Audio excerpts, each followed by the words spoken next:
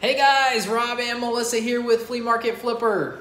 Today we are bringing you Tuesday tips.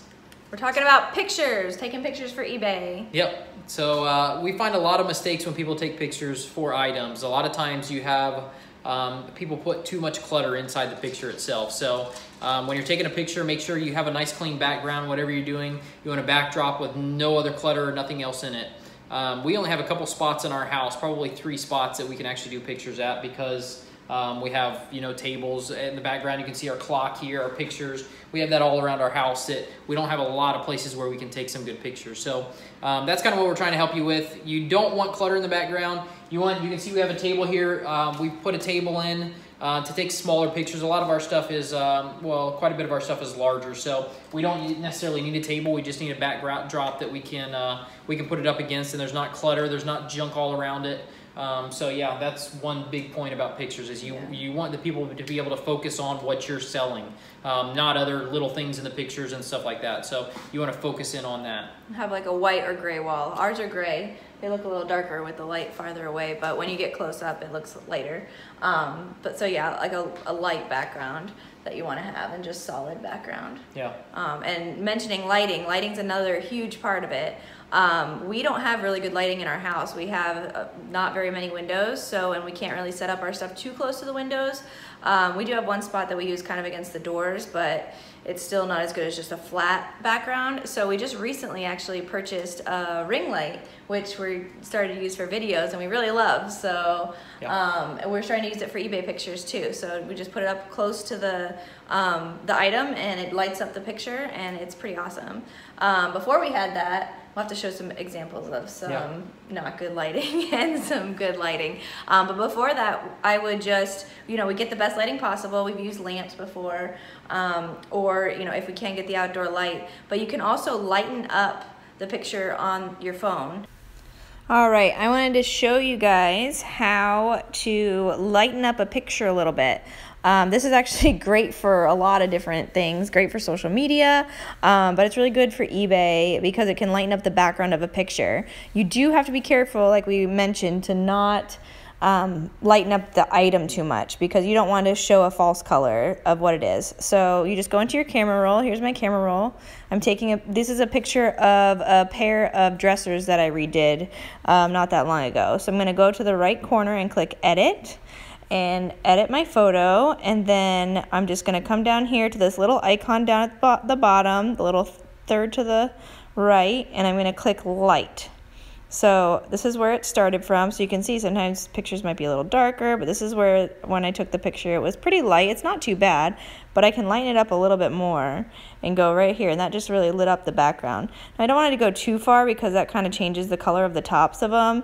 Um, so I want to go right about here where they still have that dark color on the tops, but it's lit up, lit up the back just a little bit. Um, so it's very helpful for a lot of different um, items, uh, a lot of things that you take pictures for.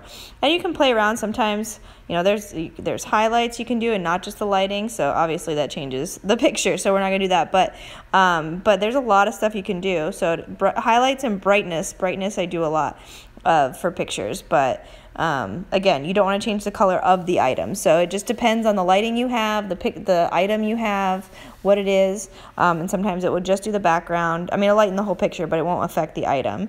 So yeah, play around with that. You know, I would obviously not change the color of things, but um, don't really want to show black and white. But yeah, play around. So mine was. Let's go close. And you can always if you do something like say i put it here and then i click done i'm like i don't really like that at all. I don't want to do that.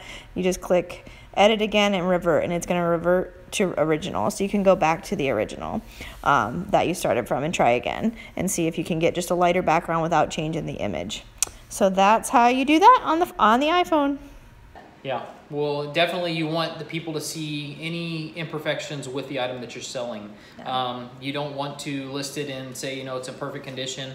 If it's got scrape, scrapes, scratches, and stuff like that, try to take a couple of pictures of those so people can.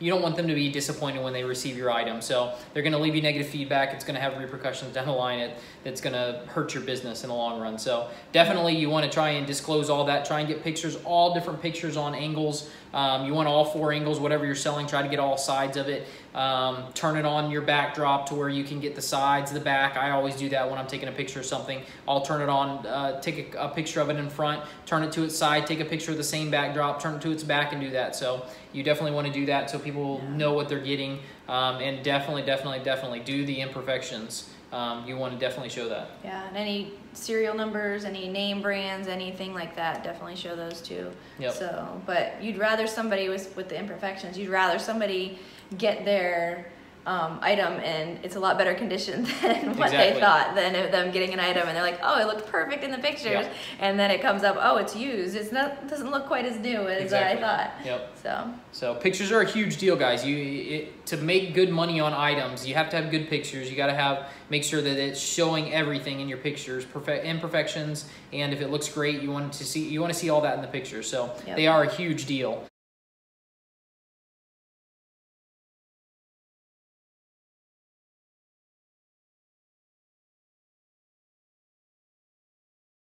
that's it guys. Hopefully this helps out. And uh, yeah we're gonna start doing uh, tuesday tips uh, once a week on tuesdays. So you yeah. can look forward to it. We're gonna try and bring you guys some stuff. If there's any any tips that you want to hear or anything that um, that we can help you guys out with please put the comments below. We'll definitely try and do a uh, video on it and uh, help you guys out anything with that. Ebay reselling related we'd love to hear it. Yep. So. All right guys. Great. Have a great day. Talk to you later